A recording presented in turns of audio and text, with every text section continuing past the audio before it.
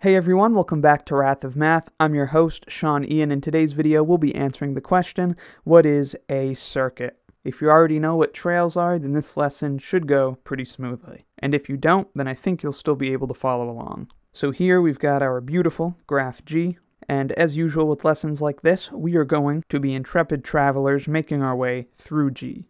So let's say we start at vertex 1. And then we go over here towards the middle to V6. Then we go down to V5. Then we come over here to V4. We go up to V3. Then we revisit V6. Then we go up to V2. And then we return to our starting position at V1. Then what we have just described is a circuit in the graph G. And it is also a trail. So what makes this a circuit? What makes it a trail? Well, let's name and describe it. We'll call it C for circuit. Then we can describe it as a sequence of vertices in G. Of course, the sequence that we traveled through. So we started at V1, then we went to V6, then we went to V5, then we went to V4, then we went up to V3, we went back to V6, we went to V2, and then we went back to V1, finishing the circuit where we started. Now, as a quick recap of trails, a trail is a sequence of vertices in a graph such that consecutive vertices are adjacent in the graph and no edge is traversed more than once. So you can see in this circuit C, consecutive vertices are adjacent in the graph G. So if we are at one vertex, we can only go to adjacent vertices. If we're at V3, we can go to V4, V6, or V2. But we can't go to V5 because there's no edge joining these vertices.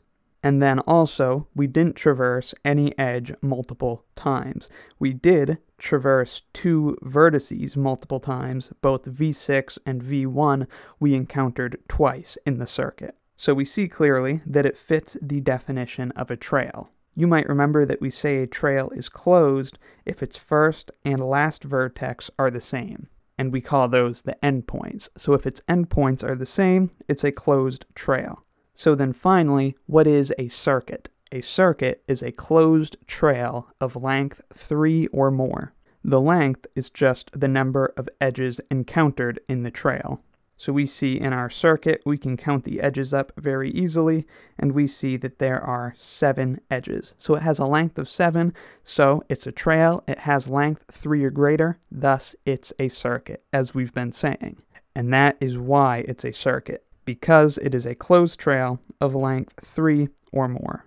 It is a sequence of vertices in this graph such that consecutive vertices are adjacent in the first and the last vertex, v1, v1, the first and last vertex are the same. And then lastly, no edge is encountered more than once.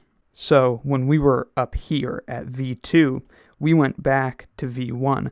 We could not have gone back down to v6 and then over to v1 and still had a circuit because then we would have traversed this edge, this one here, and this edge multiple times.